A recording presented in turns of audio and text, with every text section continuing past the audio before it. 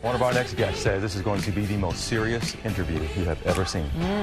These three uh, have been very good friends of our show here. Uh, they have joined us in the past to chat about their first book. That was almost two years ago.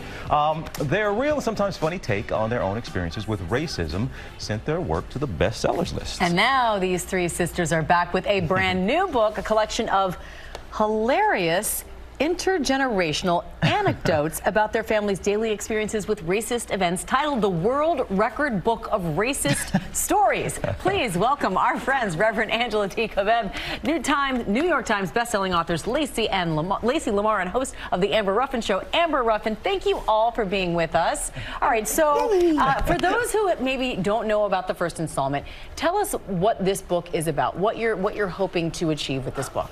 Right. One day we realized that uh, Lacey, uh, my sister who lives in Omaha, Nebraska, had a treasure trove of hilarious racist stories, so we decided to put it in a book. That first book was You'll Never Believe What Happened to Lacey Crazy Stories About Racism. And that made the New York Times bestseller list. So, as after we wrote the book and we press send, racist stuff kept happening to Lacey. so we we had more than enough. Plus the things that didn't make it into the first book, we had more than enough for a second book. So we just dove in. Help, help people understand. You just by you saying racist stuff kept happening, and then the three of y'all cracked up. Now people will hear, see that it's like, wait a minute, racism ain't funny, Lacey. Racism is not funny. But the things that were happening, and plus we are just a funny bunch of people. It's like, it's better to laugh than to cry. Um, you know, when I, I say when, when someone thinks you look like Harriet Tubman, you know, you, you kind of got to giggle at it sometimes. And, and, and, and Reverend, you all then added your own personal. It wasn't just happening to Lacey. Right. It was happening to all of you. So talk a little bit about what you added to the mix. There were, I have my own section. I like to call it Holy Racism Batman. My goodness. Because it happens in the church all the time. One of the funniest stories I was living in a small town in Ohio, and a parishioner died who was no longer living in that city. So I didn't know the family. And once the family found out that a black woman pastor was uh, pastoring that church, they didn't want me to bury him. And I was like, now, y'all know he's still going to be dead if a white man buries him. But, you know, it's just, it's too, it's hilarious.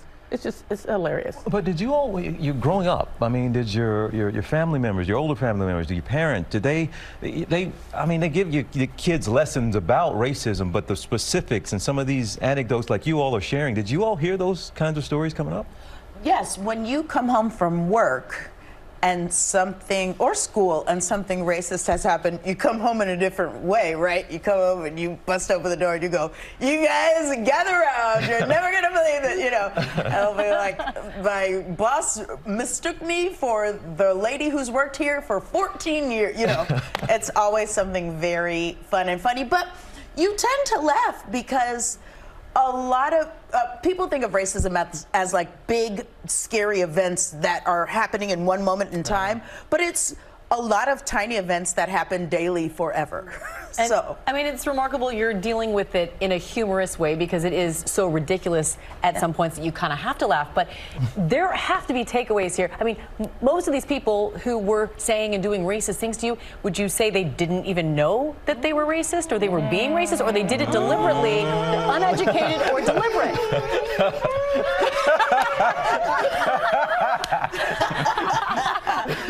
no, it's No a little bit of both. No always. taken. It's definitely both. Some Yeah, of them yeah. are like, I'm, I'm here in Omaha, Nebraska. I'm going to get away with this. No, Right. yeah, who cares? Right. You I know, had a- I am HR, so who's going to check me? Mm. So yes, some people definitely knew that they were being racist. A parishioner came up to me once and said, I know this is a microaggression, Oh, God. but I just want to touch your hair. And she put both Oh. of her hands, run them through my hair, and then I just turned to walk away, and she walked back around and she said, see, that wasn't so painful, now was it? Ooh. She circled back. Yes, she did. She knew it was wrong. Well, It was wrong. And it would inflict pain, but she did it anyway. What do you say to somebody like that? You, you talk about you walked away, but we can sit here, we, we laugh about some of these experiences, but these experiences also that we have all had are painful and frustrating.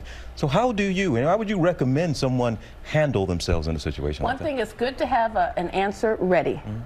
Mm. And I wasn't prepared for that one. Mm-hmm. So that was one thing. But you know what? In our family, we get our humor very honest because our mom, when she graduated from high school, she was voted most humorous. Hmm. So, you know, we get it honest. You say it's a, it's a mix between 50-50 silly, scary. That's what's in yeah, here. 50-50 silly, serious stories. Yes, because uh, Lacey and I are goofuses, and the reason we have funny stories is because Lacey wrote them down, right? But the funny stories don't necessarily stick with you. So we would ask. We asked mom and dad, and their versions of racist stories were quite heavy, right?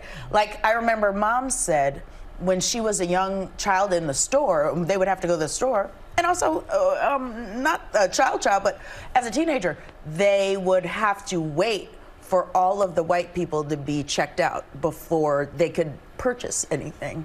Even though they were in front of the white people, the white people would step into line, see a black person, and step mm. in front of you. I, I, that blew my mind. I had no idea that that was a thing. Is this a better way to go about it? I mean, look, there are different ways we can all do better when it comes to race relations, racism. But is humor not injected enough into the conversations and trying to bridge some divides that we do have? Is this something? I mean, this is just unique to you all. You all found something, but is this it's, something we need to inject into this conversation? It's just one of the ways. Yeah. There's a million different ways, and we definitely do not handle everything with humor. I mean, I just had new neighbors. I, I, am a new to my neighborhood, and the neighbors, I knew it was going to happen, just called the police on me. That was not oh. funny. So there are a million different ways you can handle him, and we talk about that. You can handle it with whatever ways it's going to keep you safe. Um, that's going to get that point across. So we are definitely not telling America, laugh at all racism. That's definitely not it. It's just one way. This but when something racist happens to Lacey, you can laugh at that. and that just goes for everybody But your, your heart kind of drops yeah. to hear that. It's yeah. it, When did this just happen to you? When did this happen? You say your neighborhood? How long? A few ago? months ago. A few months ago. yes. Yeah. How was that resolved, that whole situation? Um, it, um, they, they did come over later, and there was a couple of tears, and I was like, mm, and you know what? She was like, mm.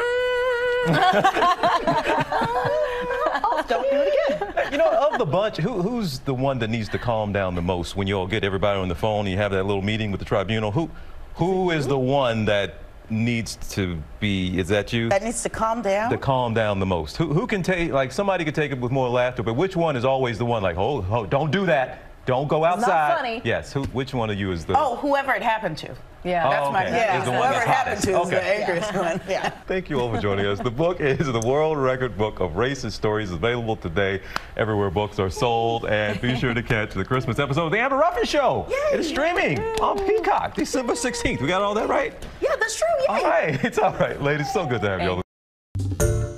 There, GMA fans. Robin Roberts here. Thanks for checking out our YouTube channel. Lots of great stuff here. So go on, click the subscribe button right over, right over here to get more of awesome videos and content from GMA every day, anytime. We thank you for watching, and we'll see you in the morning on GMA.